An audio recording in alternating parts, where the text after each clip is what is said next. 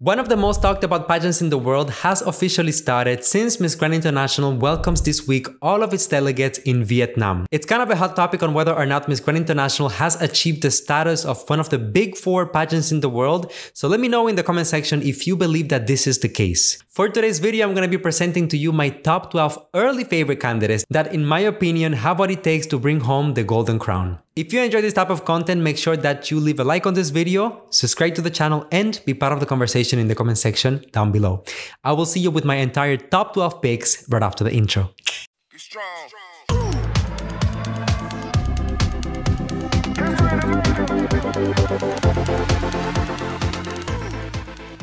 Let's get right into it. The first candidate that I want to highlight is Miss Grand India. Of course, her name is Arshina Sumbul. And honestly, my expectations this year for India are really off the roof.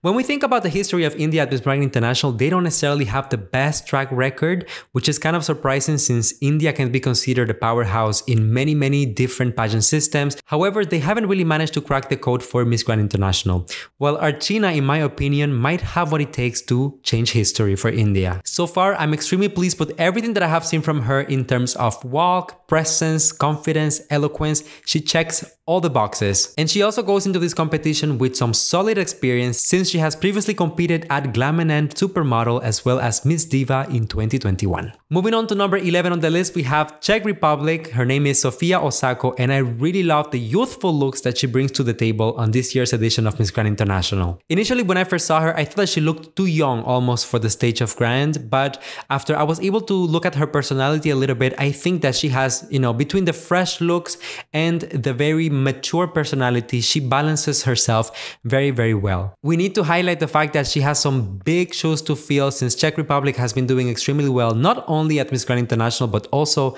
in other pageants around the world. So I think that the attention will definitely be on her, especially when it comes to girls coming from Europe, but I'm pretty sure that she has what it takes to handle the pressure. She actually has a multicultural background since she is half Japanese and half Czech. She describes herself as an athlete and during her free time she loves to volunteer. What do you think? Does she have what it takes to be the next Miss Grand?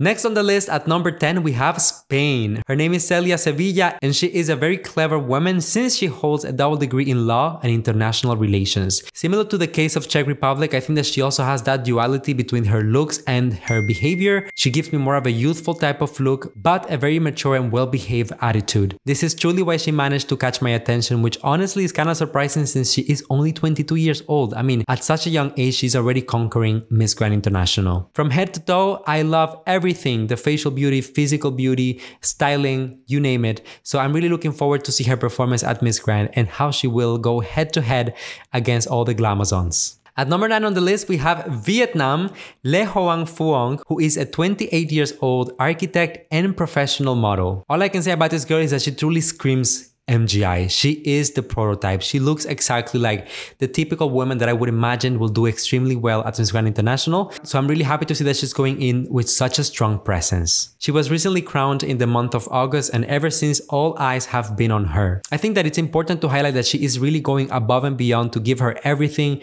in terms of her preparation, her styling, her presence.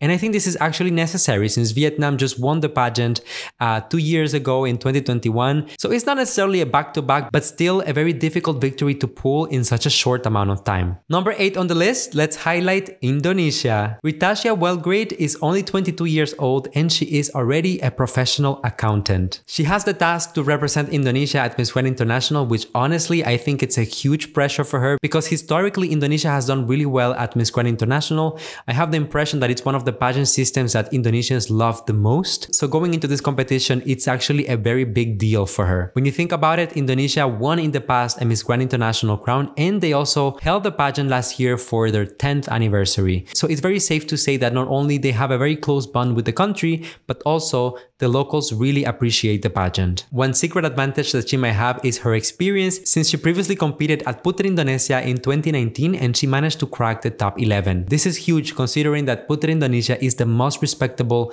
national pageant in Indonesia. So let's see how much she has grown ever since and how she will perform at Miss Grand. At number seven on the list, we have Ecuador, represented by Andrea Ojeda Fernandez, who is actually replacing Veronique Michielsen. Andrea was appointed to represent Ecuador after Veronique informed the organization that she was pregnant, therefore she wouldn't be able to fulfill her duties as a Miss Grand Ecuador. But this is definitely not a reason to panic since Andrea has everything that it takes to represent the country proudly. Borderline, I even think that she might be a stronger contender for the crown than Veronique possibly was. She has all of the attributes that MGI absolutely loves. She's beautiful, she's charismatic, she has that very commercial vibe, very commercial aura. Her performance on stage is also amazing, so I'm sure that she will have the MGI fans asking for more. At number 6 on the list, we have Peru, represented by Luciana Fuster. Luciana is a radio presenter, television figure, businesswoman, influencer, and she graduated with studies in communication science, this woman can definitely do it all. During her national competition,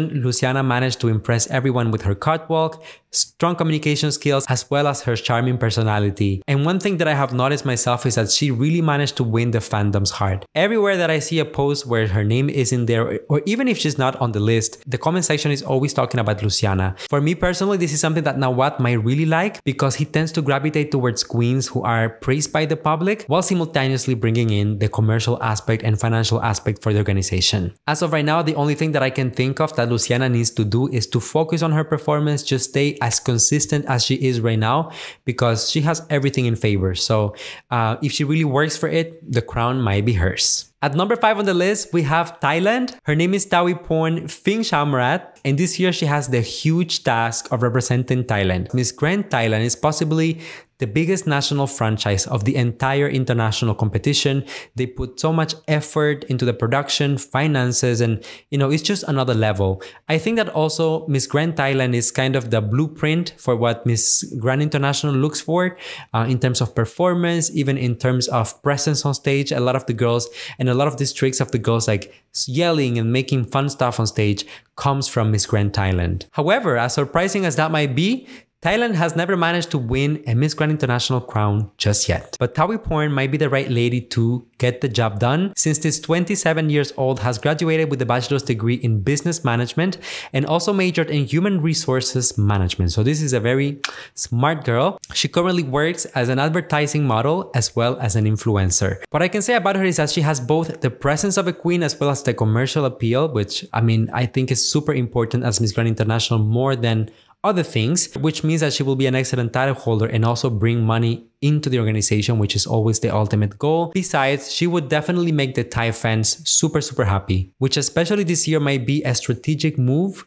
since now there is direct competition within Thailand for Miss Grand since the Miss Universe organization was acquired by a Thai company. Giving the Golden Crown to their home country might be a great way to solidify the support of the fans. What do you guys think about that? Do you think it's time for Thailand to win a crown? Number four on the list, let's talk about Brazil, Adriana Yanca. Adriana is a 26 years old dentist, nursing technician, and medical student. And this year she is aiming for a back-to-back -back at Miss Grand International, which is definitely definitely not the easiest thing to achieve, not just at Grand, but any international pageant. However, Adriana's potential is undeniable. I think it will be actually harder to get Nawat on board to give, you know, a back-to-back to Brazil. But regardless of the challenges, never say never, right? One thing is for sure, her team in Brazil is super, super consistent. They have managed to deliver some of the strongest queens in this year's batch of pageants, not just as Grand again, at many international pageants. So I think that Adriana is definitely going into this competition with the best support system, the best team. If it's written in her future that she might be the next Miss Grand International, then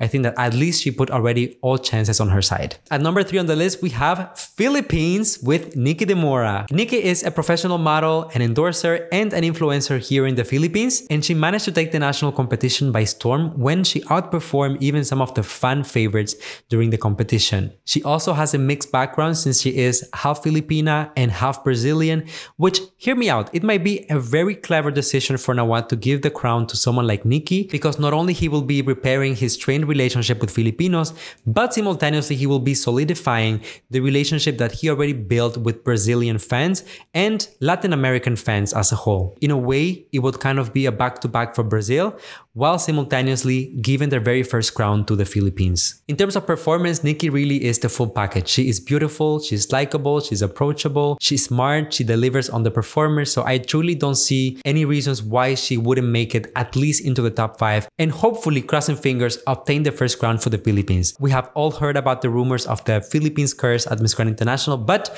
let's hope that it's a fair competition and that if Nikki delivers, then at least she is rewarded accordingly. At number two on the list, we have another mixed girl. This time around is USA. Her name is Stefania Miranda, 29 years old, and she is half Puerto Rican, half American. Stefania is an influencer, YouTuber, and entrepreneur who represented Grand Lakes at the national competition in the US. She previously competed at Miss USA in 2020, where she placed within the top 16, so very impressive already. I find her so incredibly stunning. She has everything, represents beauty, grace, diversity, all of the things that I love to see represented on stage. And she does so with a lot of glamour and in a very dramatic way, which I think goes very hand in hand with the MGI brand. As of right now, USA might not be the strongest pageant country in the world, especially in terms of hype within the nation. However, if anyone can work on that, it's possibly Stefania. Let's not forget that USA previously won a crown in 2020 with Abena, and the current Miss Universe is also from USA. So why not? Maybe if the stars align, she might go home with the second golden crown for USA. And finally, the time has come to talk about my number one pick at the moment, which goes to Colombia. Her name is Maria Alejandra Lopez Perez. And as of right now, Maria is undeniably the fan favorite of the competition. So she has to be very careful and be extremely strategic with her approach to the competition. In terms of her background, she is an industrial engineer. She speaks fluently English, Spanish, and French. So we have that in common. And she is an avid pageant fan. Are we the same person? I'm just not an engineer though. Maria possesses the appeal in terms of her beauty, her charisma, her presence.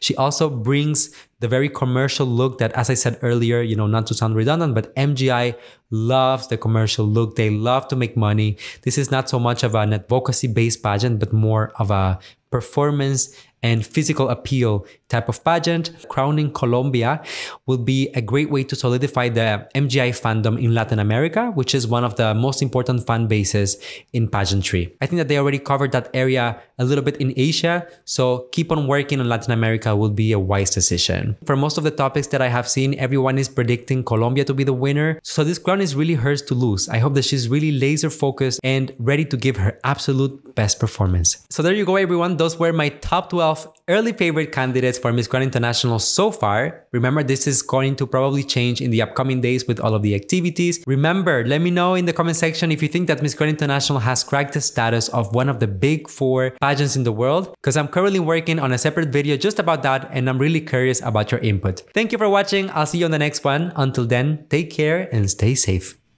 Love you guys.